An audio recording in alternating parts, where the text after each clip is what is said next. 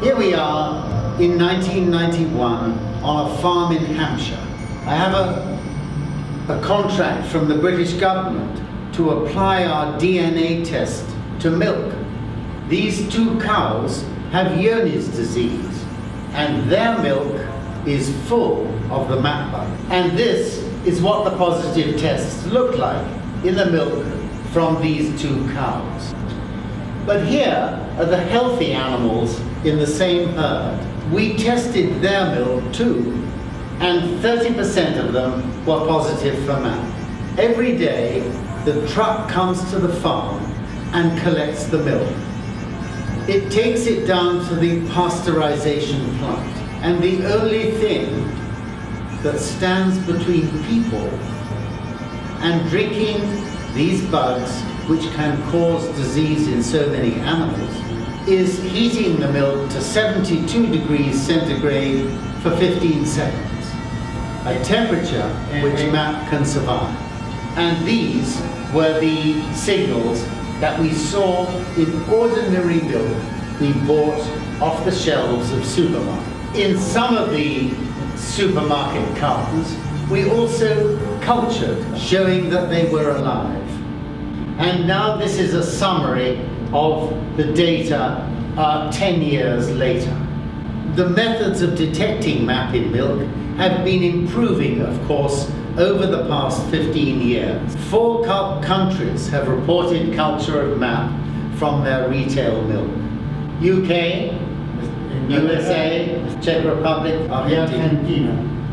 In the United States, the methods were particularly good and the DNA detection rate in 702 cartons of milk was that 64% either contained MAP or had contained MAP. But since it is very difficult to grow, the uh, and it was only cultured, for example, in the United States from 2.8, the true proportion of cartons with residual live MAP is probably much bigger than 3%. Let's go back to our three cows in a field. We know that milk from subclinically infected cows and diseased cows containing MAP is reaching the human population. But diseased cows shed millions of MAP bugs onto pastures. Animals get infected like rabbits. The cat, the grazing cattle eat the droppings from the rabbits so that the chances that these normal cattle, normal looking cattle, are also infected with MAP is very high. The animals that, that live off the rabbits like the foxes and the stoats, get infected, and other creatures like carrion, crows, and hawks also carry the organism.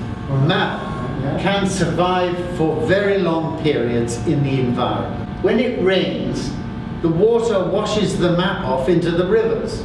Uh, this is a, a photograph of a map of the South Wales region in Britain.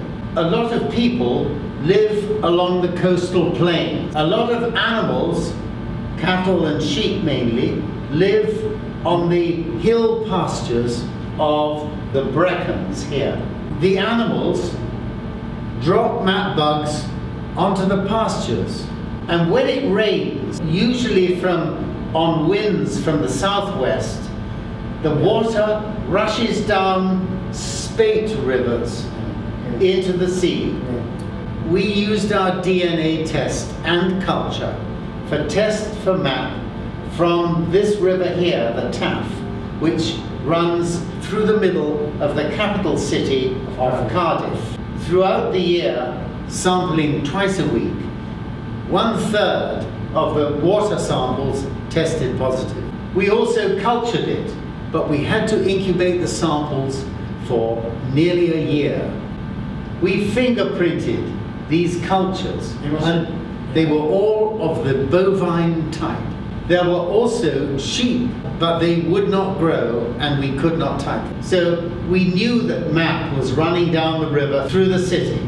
We went back to uh, an epidemiological study published just in 1917. This showed a high incidence of Crohn's disease which appeared to cluster around the river. But the relationship between this high incidence of Crohn's disease in the river was, was not statistically significant. This was because of this gap on the southwestern side of the river.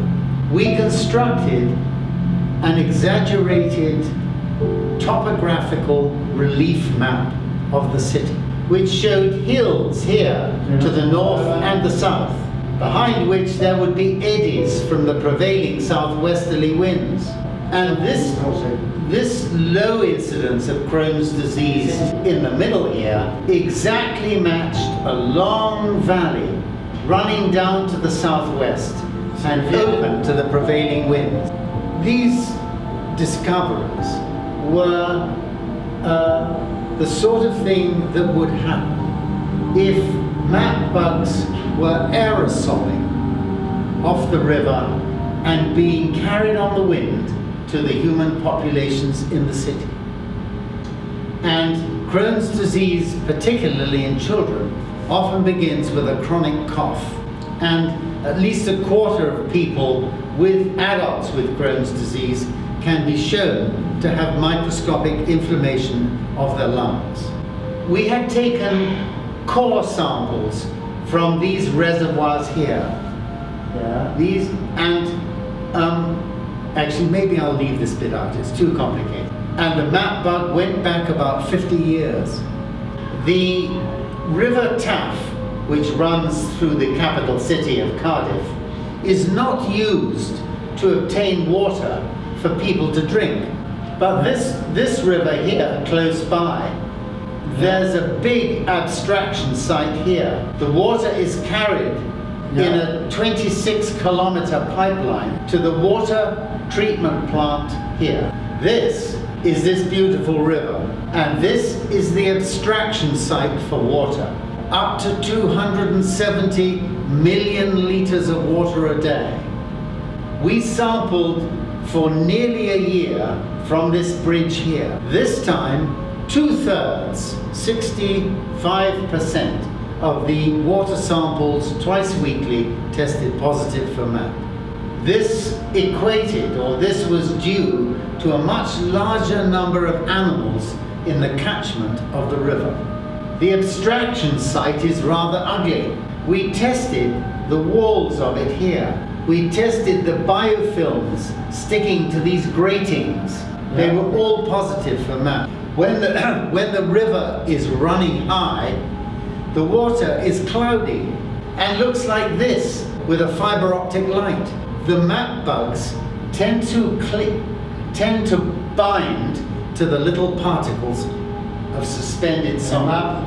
This, uh, the suspended material in the water is removed in this inside the water treatment plant.